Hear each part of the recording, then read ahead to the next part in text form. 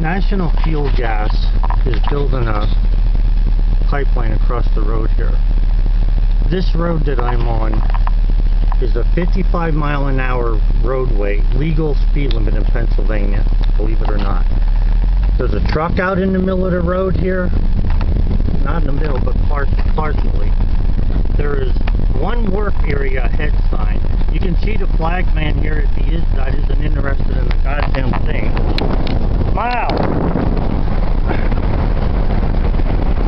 They stopped working here, but this morning I went by here, and when I went by, this road, there were no, there was no cones here, like you see these cones, there was no cones here at all.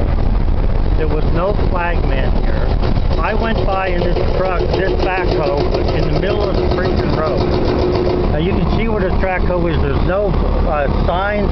There's nothing here to show that here that there's anything that would be protective of this.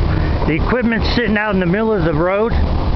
There's no flagman. There's no signs. There's no nothing here. And these guys should be put in prison for what they're doing here. National Fuel Gas will have this in a half an hour.